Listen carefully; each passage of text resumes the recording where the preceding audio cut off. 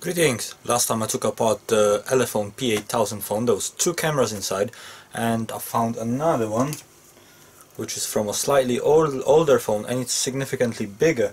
So I thought let's take them apart completely and see how are those cameras made inside because they're quite interesting modules. So if you're interested, come and join me. And here is the first camera. This is the main camera from the Elephone P8000 and that's the sensor of it and next to it we've got the lens assembly. And this is what uh, we'll be taking apart today to see how is it made and what's inside. More for most part of it the top case came off rather easy.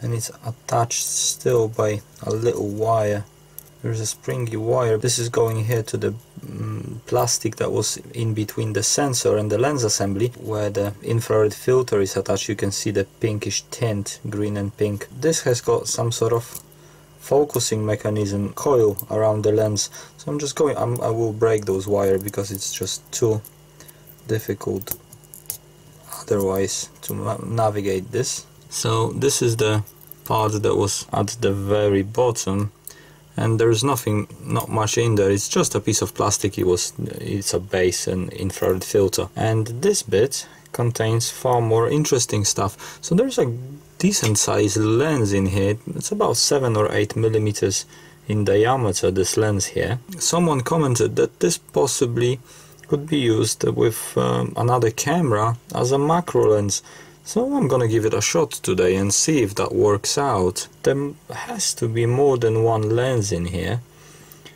and there is assembly. I presume that the little metals in the corners, the triangle shaped ones, uh, are magnets uh, which will interact with the coils that are wound up around and move the lens a little bit. So let's try to dig this out from there okay it's out. And yes those are magnets because if I take something magnetic I've got a screw here. You can see clearly it uh, does attract to it. My tweezers are non-magnetic so they won't they won't get affected. And this was moving up and down uh, to focus on the image. Okay, let's shine some laser light through it so we can see what's happening with the lens when the light passes through it. And I've got a little laser pointer here and that should do the trick. So yes if I shine a light through it of course on the camera you won't be able to see much but to visualize it I've got a trick up my sleeve.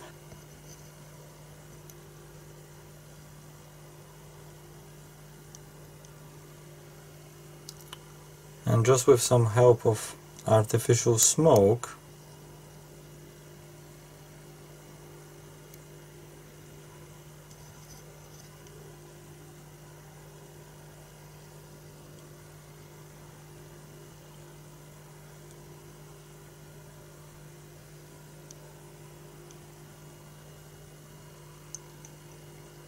you can see when there is just enough smoke around where is the focal point of the lens and you can see how nicely it is focusing stuff. Of course the same thing happens when I shine uh, the light through the other side.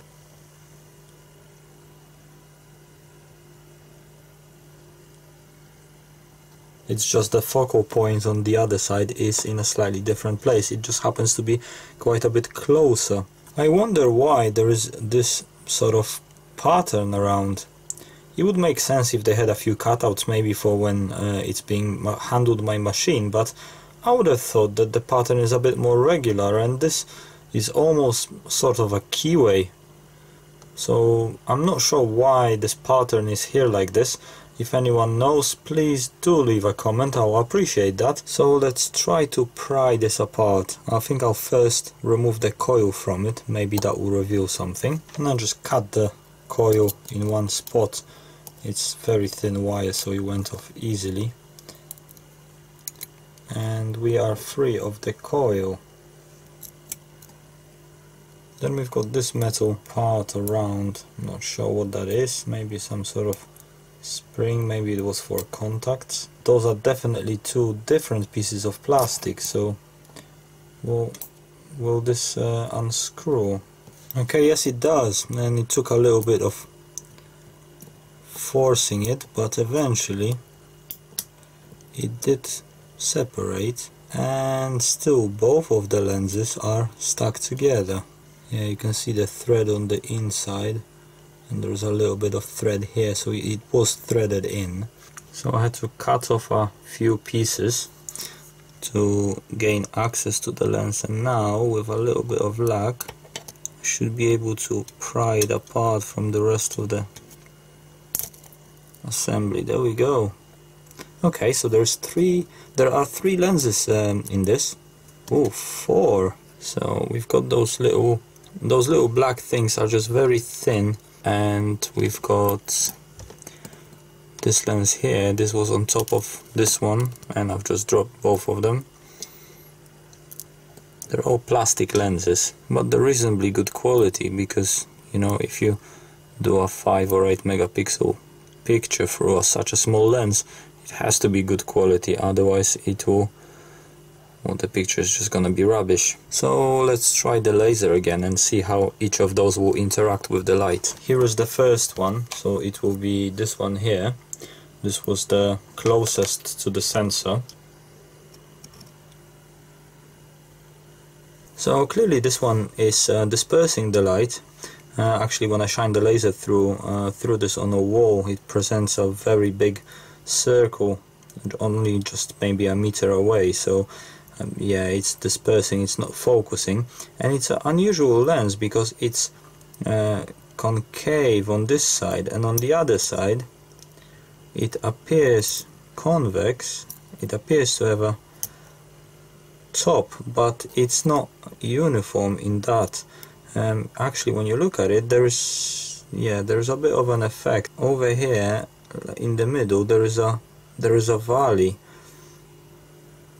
so it's concave in the middle. It's convex like up to here and then it goes down and yeah there's like a little bit of a drop over here. And that's fine. So we've got next one. And this is feels like concave on one side a little bit and very convex on the other. So let's try the laser again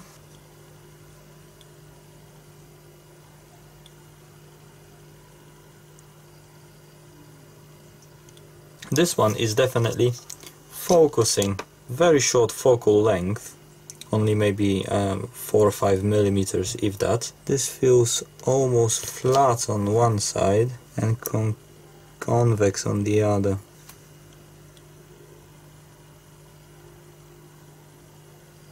This one has got focal point, maybe about 10 millimeters away from it. And let's try this last one. This one is almost flat, so not much uh, doing there. Uh, I wonder what effect will it have.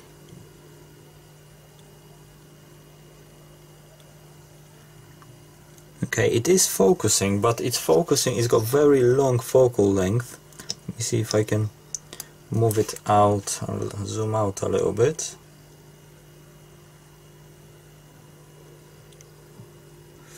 Yeah, so this one, that's got uh, about maybe 5 5 centimeters or maybe more of focal length on this. So very long focal length. And that's what's inside your little camera module in your mobile phone, if you were wondering. I'm surprised that there is actually four lenses in there. One more last thing, I'm wondering, this biggest one, possibly, could use it as a macro lens, that was the idea, because the other ones are just much too small. Then let's give it a shot. Alright, so I'm holding the lens just with some white tack, and let's see if we can get any any picture, but uh, I'm already seeing that that's not gonna be very good. I'm gonna start recording if I get a nice picture, and then paste the video. Okay, this biggest one I've tried, but it's I'm not getting any luck with it. It's just not happening. Maybe that's because of that weird shape that's meant to be specific for that one that's uh, this setup. Let's try this module that I've got over here you can see this one is significantly larger than the other one. And this module is uh, from an old mobile phone. And as far as my memory serves me right I think this was Nokia N95 it seems like there is an outer shell and then the module sits within that. So we'll remove that. And that was just held with a few clips I've bent the case open in a couple of spots and that released itself. It was just clipped in the first thing that comes to mind is this little plate here because yeah it doesn't seem to be held with anything. Okay I think the flat flex can come off quite easily. There we go. And we've got what looks like ceramic substrate. This wasn't held very well but it came off nicely but yeah that's ceramic.